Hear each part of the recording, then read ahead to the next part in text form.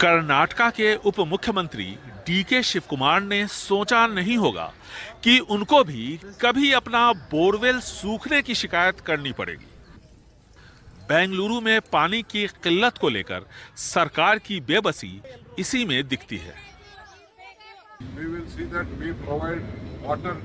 हम रियायती दर पर सभी लोगों को टैंकर का पानी मुहैया कराएँगे। हमें इसकी चिंता है पानी की कीमत को लेकर बोरवेल सूख गए हैं। हमारे घर का बोरवेल भी सूख गया है। मार्च के शुरू में ही शहर के तालाब सूख रहे हैं। बेंगलुरु सेंट्रल को छोड़कर शहर में हर तरफ़ पानी को लेकर अफरा तफरी मची है। पाँच हज़ार से सात हज़ार लीटर पानी के टैंकर के लिए, जहाँ पहले पाँच सौ रुपए से सात सौ रुपए लगते थे, वहाँ दो हज़ार रुपए से लेकर ढाई हज़ार रुपए तक अब देने पड़ रहे हैं। सरकार अब टैंकरों का रेट तय करने जा रही है। पिछले साल मानसून में बारिश लगभग 35 फ़ीसदी कम हुई। इससे बांधों और झीलों में पानी की कमी हुई। इस शहर के दस हज़ार बोरवेल में से 40 फ़ीसदी सूख चुके हैं। शहर को हर दिन लगभग 1650 एमएलडी पानी कम मिल रहा है।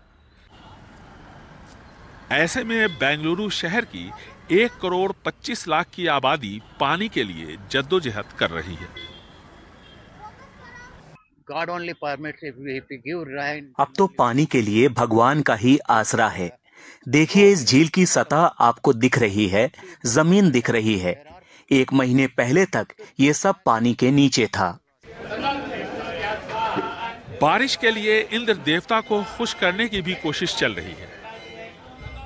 लेकिन जल प्रबंधन से जुड़े वैज्ञानिकों का कहना है कि जब तक सरकार और आम लोग इच्छा शक्ति नहीं दिखाते तब तक ये समस्या हर साल आएगी जब भी मॉनसून फेल होगा You can get it from flood water or you can get it from treating wastewater. पानी के सीमित सोर्स हैं जैसे बारिश बाढ़ और इस्तेमाल किया हुआ पानी जो पानी हम इस्तेमाल करते हैं, उसको ट्रीट करके बहुत से काम, जैसे खेती, बागवानी और निर्माण में इस्तेमाल किया जाता है।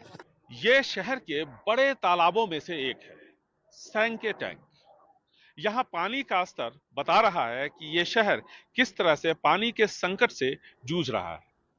मॉनसून आने तक यहाँ हालात कमोबेश ऐसे ही रहेंगे, क्योंकि पूरे राज्य में पानी का संकट कुछ इसी तरह बना हुआ है।